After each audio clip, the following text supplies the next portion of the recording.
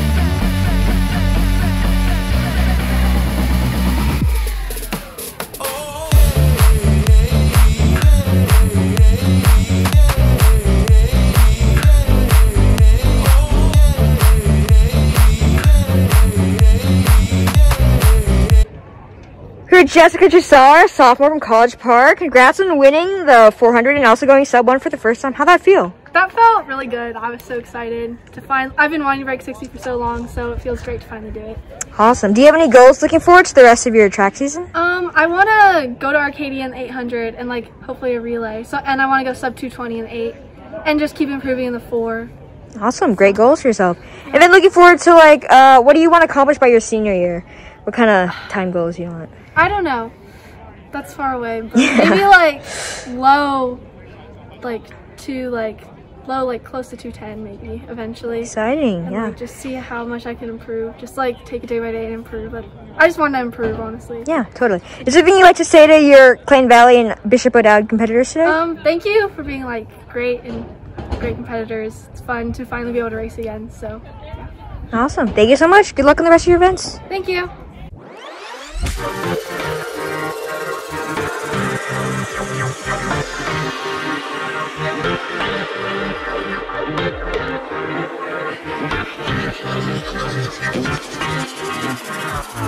Oh.